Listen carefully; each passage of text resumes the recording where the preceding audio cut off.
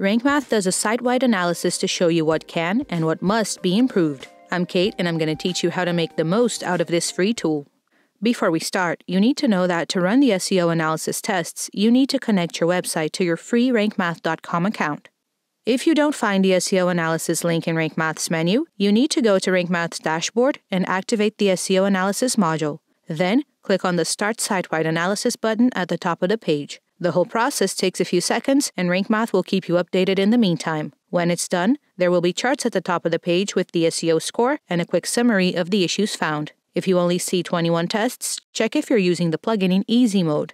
All of the 29 tests will only appear if it's in the advanced mode. The first column, Passed Tests, shows how many aspects of your site don't need fixing. The second, Warnings, regards the issues that are not very severe but deserve attention. The third and last one, failed tests, is about serious problems that need to be fixed immediately. These aren't site breaking issues. Your site still works, but they are problematic from an SEO perspective. Moving down the screen, you can see more detailed feedback broken down into multiple sections. A passed test will show a green check mark, while a warning will have a yellow exclamation point, and a failed test will have a red X. The tests are divided into four sections basic SEO, advanced SEO, performance, and security. Some of them apply to the entire website, while others are focused on the homepage. You can apply these tests to other pages with the free SEO Analyzer tool in RankMath's website. The link is in this video's description.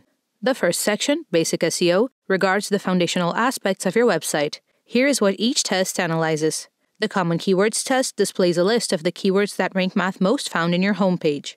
The most frequently used terms help search engines determine what your website is about. RankMath will also try to determine if the group of words is cohesive, making the intent of the website clear. Next is an analysis of the homepage's SEO description, in which RankMath will check if there is an SEO description and if it's too long. H1 heading is the text that usually houses your page title on the front end. This is the second most important element in a page, right after the title meta tag. If your homepage is a static page, you can easily add an H1 heading with Gutenberg, Classic Editor, or the page builder used to make it. On the other hand, if the homepage contains your latest posts, you'll need to add the H1 heading to your theme's index.php file using WordPress's theme editor. If you're not sure where to edit this, contact your theme provider.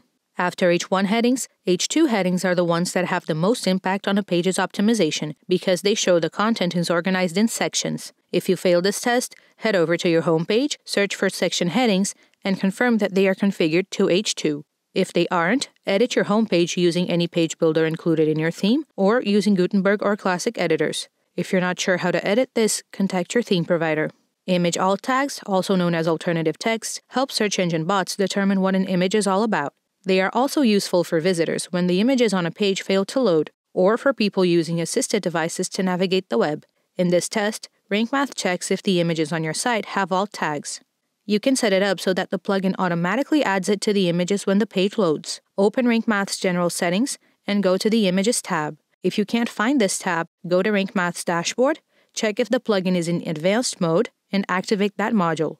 This doesn't work for images in headers and footers or the sidebar, just images inside the content area.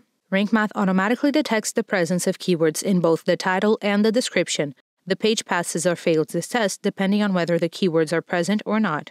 Link ratio is the proportion between internal and external links. RankMath counts the number of both internal and external links in your homepage and shows a warning if the internal links count is lower than 10. You will find suggestions on increasing internal and external links until the ratio is healthy from an SEO perspective, which is at least two internal links for each external. Next is SEO title, which is important for two reasons. It lets search engines know what your website is about, and it appears in the search results. This test checks if your SEO title is of an appropriate length because if it's too long, it will be cut off. The website's title is usually set up to show the tagline as well, which is the object of the next test. When you create a WordPress site, the tagline is set to just another WordPress website. Keeping it like that means wasting an opportunity to show what your site is about on the header of each page, which would be great for SEO. It also makes your site an easy target for hackers. Any hacker with a WordPress exploit could locate your site in seconds, and they usually attack hundreds of sites at a time. You can customize the tagline easily in WordPress's general settings. The blog public test refers to the option from WordPress's reading settings called Search Engine Visibility. Activating it discourages search engines from indexing the site, as it says. Many times, this was enabled before the website was ready and continued like that because nobody remembered to deactivate it. Permalink Structure checks if the structure of the URL for each post and page on your site is still the default that came with WordPress. A question mark, P, equals a number. This isn't good because there's no keyword information for your visitors or search engines. Moreover, the default structure makes URLs harder to remember. Fortunately, it is very easy to change the permalink structure on a WordPress site. The option is built into the WP admin panel. Just go to the Settings, Permalinks menu, and select the Post Name option. In the last two basic SEO tests, RankMath counts how many posts don't have a focus keyword. Then, among the ones that do, it checks whether each post's focus keyword is present in its title. We recommend first adding the keywords to the posts that don't have them in place, then running the SEO analyzer again. Next is the advanced SEO section. In the first two tests, RankMath gives you a preview of how your website appears in the search results of desktop and mobile devices. Then comes Mobile Snapshot, which isn't technically a test. It shows you how the homepage looks on a mobile screen to help you identify if your website is actually mobile friendly. The canonical tag test analyzes if that page, in this case the homepage, has self canonical tags pointing to itself. In case you haven't heard of these tags, they are used when the same page can be reached from multiple URLs. For example, a post can have a simple slug with just its name, a tag, or a category, and so on. Search engines consider different URLs to be different pages and would index duplicate content, making the post compete against itself for ranking. Canonical tags tell them which URL to access. If your homepage is a static page, you can change this by opening the homepage to edit and access the Advanced tab in RankMath's panel. You'll see the option for defining the canonical URL there. In NoIndex Meta, RankMath will check if your homepage has the NoIndex robot meta tag added to it. If your homepage is a static page and you see no index here, go to RankMath's meta box, open the Advanced tab, and check the index option. If it lists the latest posts, you'll need to access RankMath's titles and meta settings. In the Homepage tab, activate the option Homepage Robots Meta and select the Index Meta tag. Then you should run the SEO analysis again to ensure the change took effect. The www canonicalization test checks if URLs with www direct to URLs without it, or vice versa, depending on how you set up your website. Google considers URLs with and without www to be two different pages, so you need to make it clear which of them is the true URL to avoid duplicate indexing. Next up is Open Graph Meta, a test related to the markup created by Facebook that formats your content to be shared on social networks. If you fail this test, open the homepage in the editor and access the Social tab of RankMath's panel. If you are using the latest posts for your homepage, you can change these settings in RankMath's Titles and Meta settings in the Homepage tab. The robots.txt test applies to the website as a whole. RankMath looks for a robots.txt file at the root of your web server, which directs search engines on what they should and should not crawl. If the plugin finds a disallow tag in the file, it will just show a warning. In case you wish to edit your website's robots.txt file, click on the card to learn how to do so with RankMath. Moving on to Schema Metadata Test. This search is for the chunks of code that help search engines understand the web and your website better. If schema is found in your homepage, you pass the test. The Search Console test refers to Google Search Console, formerly known as Google Webmaster Tools. It's a set of tools that create statistics about your site, such as the keywords it ranks for, indexing status, performance, and security issues. If you haven't passed this test, your website isn't connected to Google Search Console via RankMath, but you can easily make this integration. First, activate this module in the dashboard. Then go to Analytics in the left sidebar of the WordPress panel and click on Connect Google Services.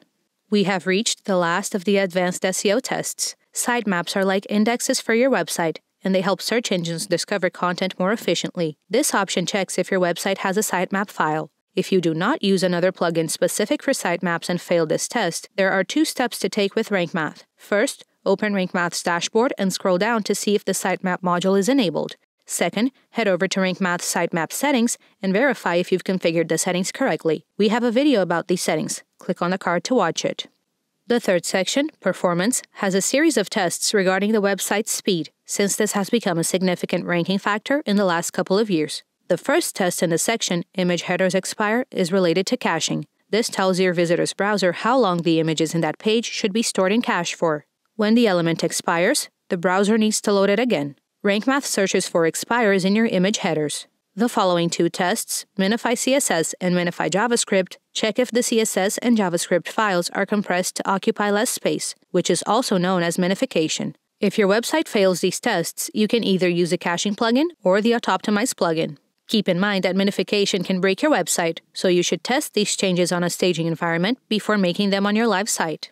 The fourth test is page objects, which counts the number of requests made to your server in that particular page. There is no established baseline on what the number of requests should be, but the lower the better, because each one takes valuable loading time. Your homepage passes the test if there are less than 20 requests. To cut down on loading times, you could combine some of the resources together, which will reduce the number of requests. The Autoptimize plugin also works for this. Another important element in speed is page size. The smaller it is, the faster it will load. RankMath calculates the total size of the page's HTML. If the size is less than 50 kilobytes, you pass the test. In case gzip is enabled on your website, we look for the compressed page size.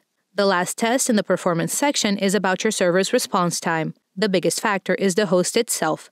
But if you can't change hosting companies, we recommend using a content delivery network that serves files from different servers across the globe. This usually helps improve the response time or at least ease the load on your servers. Last but not least are the security tests.